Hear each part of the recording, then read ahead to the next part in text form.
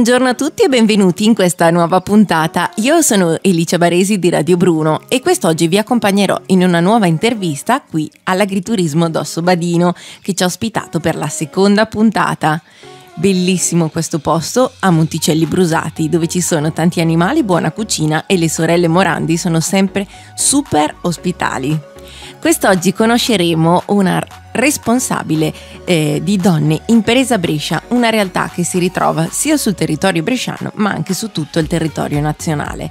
E lei è Nadia Turelli. Però prima di conoscerla, io direi di lasciarla nelle mani della bravissima make-up artist Barbara Locatelli che la truccherà. Bentornate tutte con il nostro appuntamento Consigli Make-up nostra ospite di oggi andremo a minimizzare le macchie scure e valorizzare lo sguardo. A volte è un segreto distrarre l'attenzione da quello che sono i nostri umani difetti esaltando i punti forza del nostro viso. Siamo con l'applicazione di un primer con la funzione di levigare e raddoppiare la tenuta della base e lo andiamo a sfumare con un pennello a lingua di gatto. E ora andiamo a coprire e minimizzare le macchie scure con un correttore correttivo nel tono aranciato che ha la capacità di andare a coprire la macchia marrone.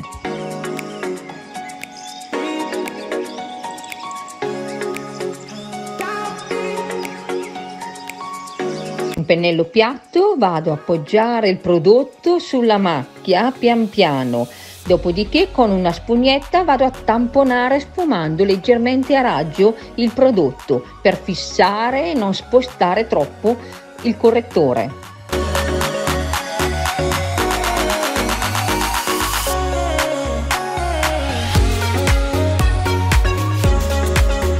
Procediamo con l'applicazione con un fondotinta semicoprente e lo andiamo a sfumare picchiettandolo su tutto il viso per andare a fissare e a minimizzare ancora più le nostre macchie.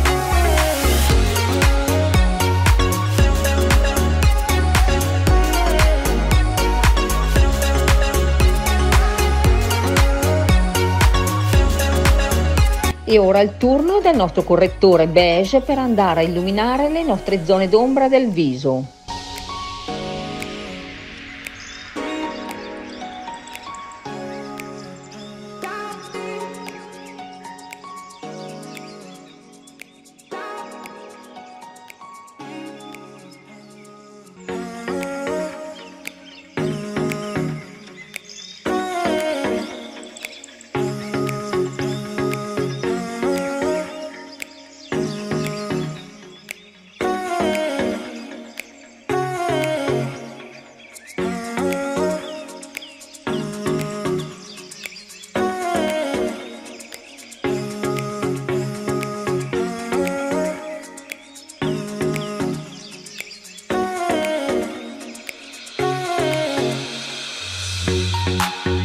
Ricordiamoci della nostra cipia trasparente, molto importante per fissare e opacizzare la nostra base.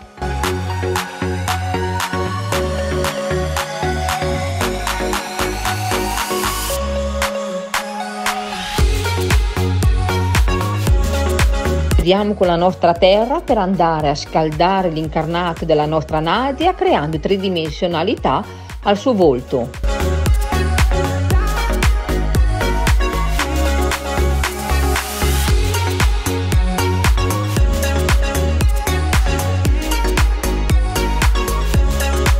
Concentriamo ora sul nostro focus occhi e cominciamo con le nostre sopracciglia, le andiamo a pettinare ben bene e procediamo poi con l'applicazione di un gel specifico sopracciglia e lo applichiamo con un pennello piatto angolato.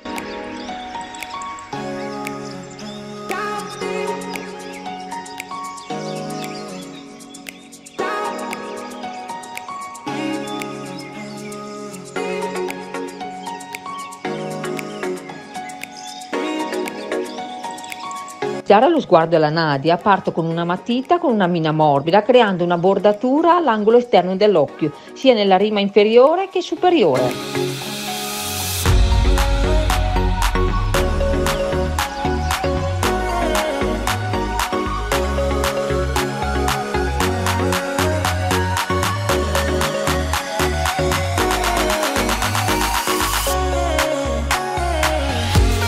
Con un ombretto nel tono verde oliva vado a sfumare la bordatura.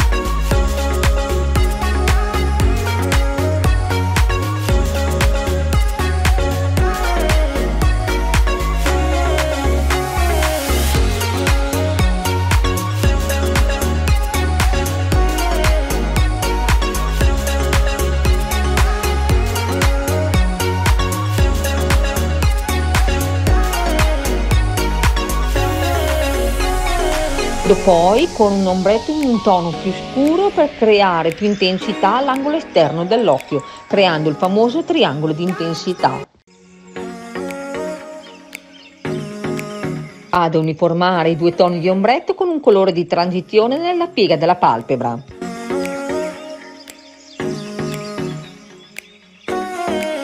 ancora più intensità allo sguardo della Nadia, vado ad applicare una matita verdone nella rima inferiore.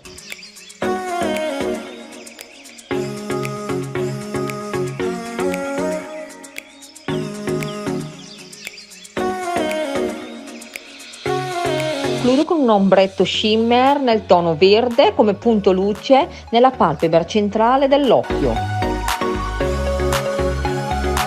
Diamo con il nostro piegaciglie per dare più curvatura e passiamo poi all'applicazione del nostro mascara.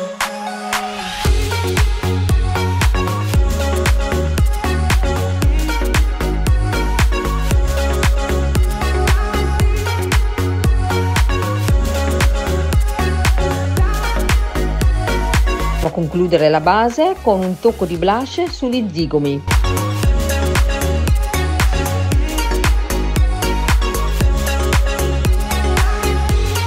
Un punto luce all'interno dell'occhio e sotto l'arcata sopraccigliare.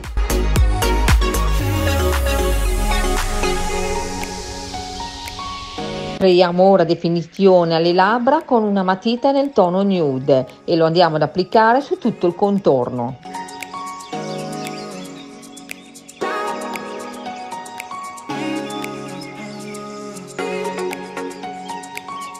All'interno delle labbra andiamo a applicare un rossetto nello stesso tono.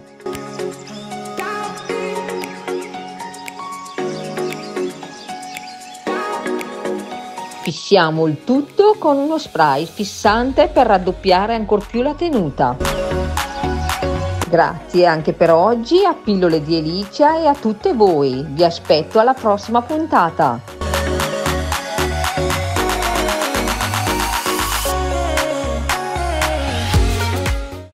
Eccoci ora nella parte intervista e quindi andiamo a conoscere Nadia. Ciao Nadia! Buongiorno, ciao a tutte!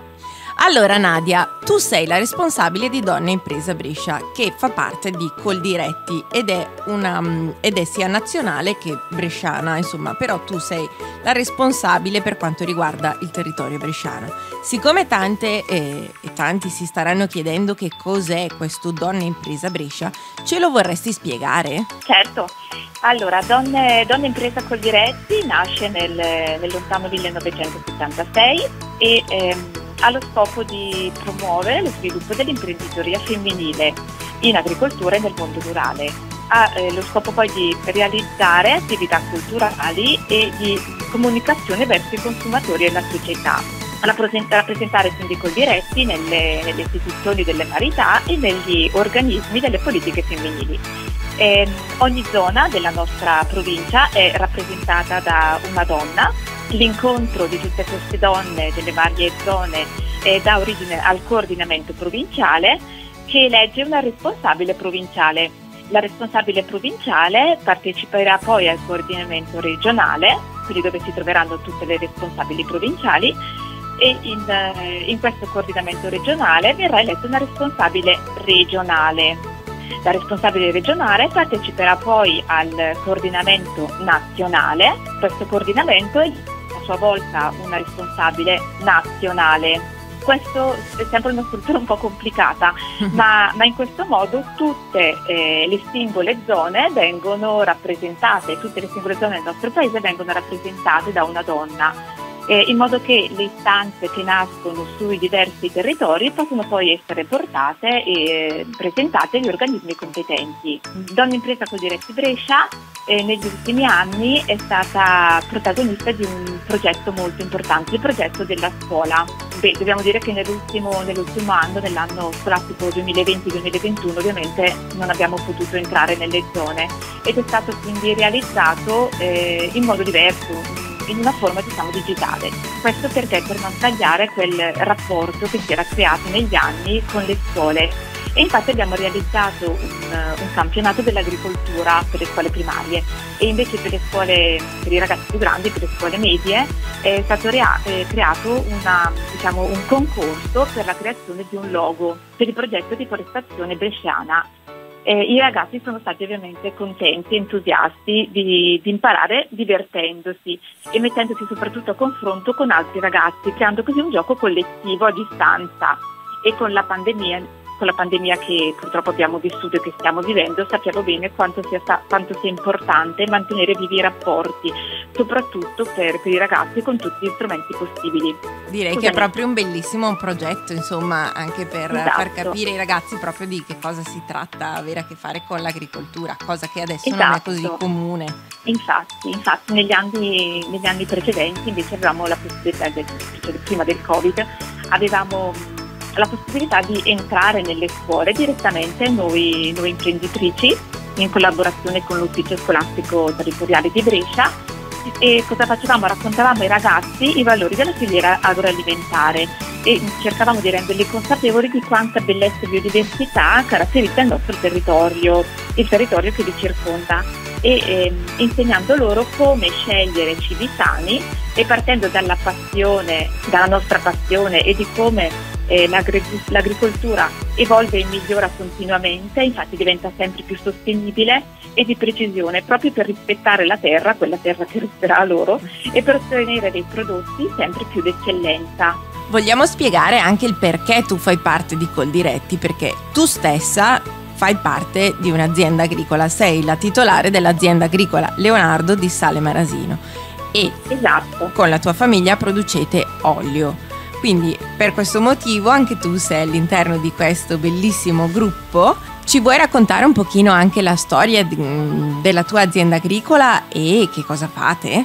Certo, allora la, la nostra azienda, mm, mia e di mia sorella Elisa, eh, nasce nel 2004 quando mm, decidiamo di lasciare i lavori che facevamo per tornare alla campagna.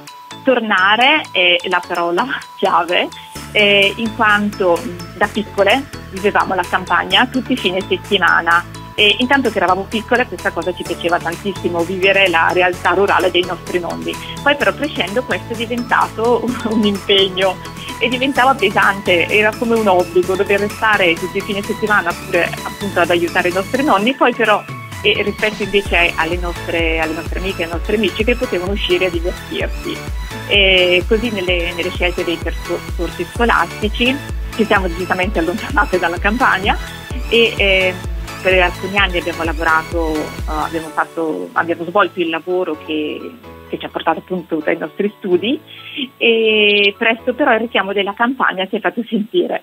E così appunto nel 2004 decidiamo di aprire la nostra azienda agricola.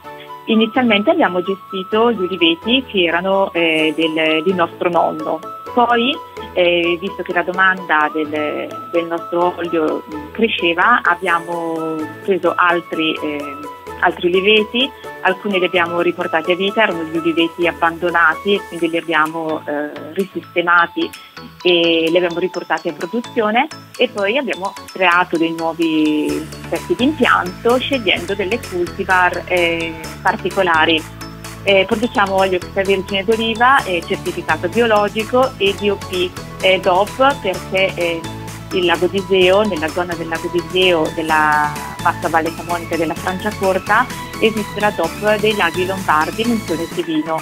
Eh, questa DOP prevede che eh, all'interno del, dell'olio ci sia almeno il 40% di leccino. Il leccino è una varietà, è la varietà che predomina appunto sulle nostre sponde del lago. Scel- la scelta che abbiamo fatto in seguito è stata quella di creare appunto dei nuovi pezzi di impianto con delle cultivar particolari. E abbiamo scelto delle cultivar che potessero resistere agli agenti atmosferici, visto che negli ultimi anni purtroppo eh, il cambiamento climatico eh, causa delle grandi perdite nel, nella produzione dell'olio extravergine d'oliva, creando così dei monocultivar, quindi degli oli estratti solo da un tipo di oliva. In questo modo abbiamo la possibilità di offrire al, al consumatore eh, degli oli diversi, fare dei nuovi pianti di, insesto, pianti di insesto e quindi nuovi oliveti scegliendo delle cultivar che eh, fossero resistenti agli agenti atmosferici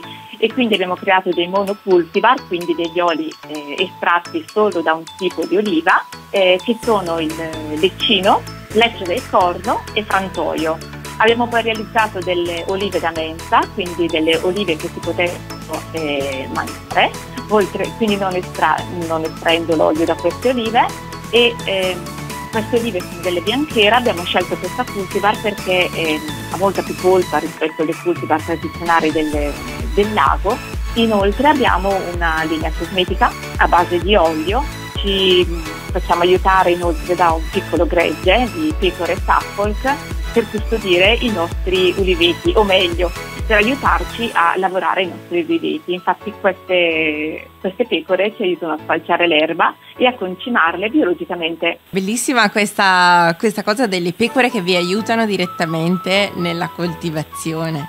Sì, eh, abbiamo scelto proprio le pecore eh, Suffolk perché sono delle grandi mangiatrici di, di, erba e soprattutto non hanno bisogno di eh, grandi cure, essendo appunto ehm, di origine irlandese, sanno eh, adattarsi alle imperie, quindi non hanno bisogno di particolari cure. Eh, quando, quando, nevica vediamo le nostre pecore saltare nella neve e gioire di questo freddo.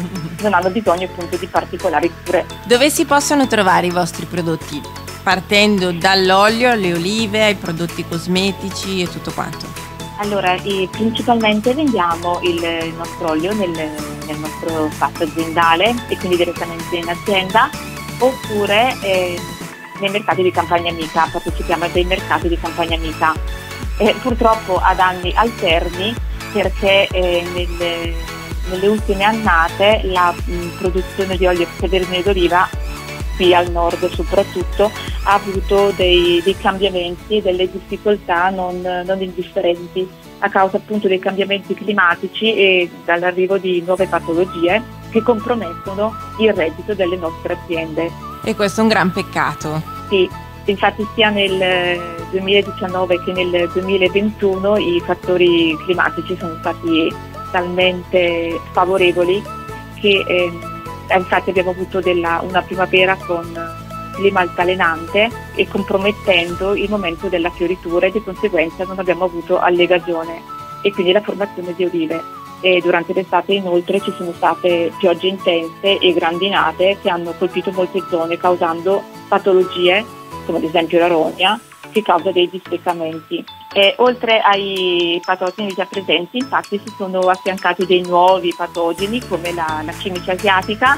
Eh, questa purtroppo è presente in eh, maniera massiccia nei nostri uliveti ed è probabilmente la causa di una nuova forma di cascola, la cosiddetta cascola verde. Eh, di fatto le olive negli uliveti eh, a, a, giugno eh, c'erano, ma sono poi cadute in un secondo momento e questo non, non riusciamo a spiegarcelo. Eh, probabilmente eh, è proprio la cimice asiatica che pungendo le, le nostre olive eh, passa probabilmente un batterio e ne causa poi la, la caduta. Grazie a Coldiretti, in collaborazione con Regione Lombardia, eh, quest'anno è stato realizzato un progetto attraverso l'Università di Torino, un progetto che ehm, ha visto interessati alcuni, alcuni areali, alcuni oliveti della, della, nostra zona. In questo progetto è, previsto, è stato previsto il trattamento di, di questi are, areali con diverse molecole. Sono stati fatti dei trattamenti ogni eh, 15 giorni a partire da giugno fino a settembre e i tecnici dell'Università di Torino eh, uscivano in questi areali per controllare la situazione delle poche olive rimaste in campo e della situazione della presenza o meno della, della cimice asiatica. A fine poi, eh, metà settembre, fine settembre, quindi una volta finiti i trattamenti, i eh, tecnici dell'Università di Torino sono, eh, hanno controllato, hanno raccolto le poche olive presenti in questi, in questi areali e eh, le hanno portate nei loro laboratori, esatto, per verificare come eh, e se la cibica asiatica avesse portato delle eh, complicazioni alle, e quindi delle malformazioni alle olive. C'è un modo quindi per poter risolvere questo problema e speriamo che con il 2022 tutte queste cose vengano rimesse in atto per poter salvare il raccolto. Sì, quello che abbiamo chiesto, eh, quello che chiediamo è che la ricerca eh, continui in modo da riuscire a trovare una molecola che possa essere utilizzata anche nell'agricoltura biologica per poter eh, diciamo, eliminare questa cimice asiatica e che possa portare di nuovo alla produzione nostre, dei nostri olivi, di modo che poi le aziende agricole possano avere un reddito. Rischiamo altrimenti che eh, gli uliveti vengano, vengano abbandonati, che, le aziende agricole, soprattutto dei giovani che non vedendo reddito eh, si trovano a dover fare una scelta e quindi all'abbandono della, della campagna e rischiamo, e questo oltre ad essere un, una perdita eh, a livello aziendale e quindi di aziende di reddito eh, familiare, è anche una perdita a livello sociale e turistico. Sappiamo bene quanto le, gli uliveti caratterizzino il, le nostre sponde dei laghi un, il turismo che, che nasce, il, il, turismo che sta nascendo e che interessa soprattutto le nostre zone, è un turismo lento, è un turismo che ha bisogno, che ha voglia di avere esperienze e viene proprio attratto dai prodotti d'eccellenza che nascono sui territori. Venendo a mancare il, l'olio extravergine d'oliva ovviamente sia sul lago di Iseo che sul lago di Garda o del lago di Como, quindi nel, nel nostro, par, parlando della nostra, della nostra, regione, viene a mancare una, una, rete e quindi di conseguenza diverse attività si trovano a, a chiudere, si trovano in difficoltà. Io ti ringrazio per averci raccontato la tua bellissima storia e anche di tutte queste problematiche e ti mando un grandissimo in bocca al lupo sperando che le cose siano presto risolvibili sia per te che per tutti gli altri coltivatori. Grazie. Grazie mille Nadia per aver partecipato e per averci raccontato la tua storia. Grazie a voi, a presto.